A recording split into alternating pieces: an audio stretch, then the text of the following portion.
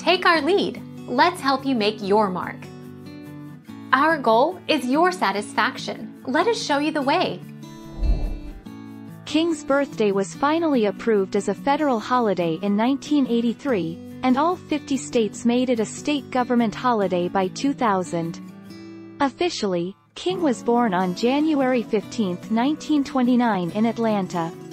But the King holiday is marked every year on the third Monday in January. Four days ago,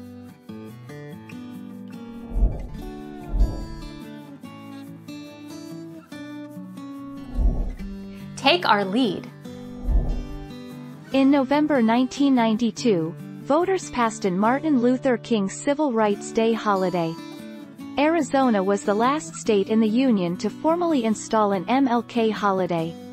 New Hampshire has a Civil Rights Day, but Arizona was the only state to approve the MLK holiday by popular affirmation.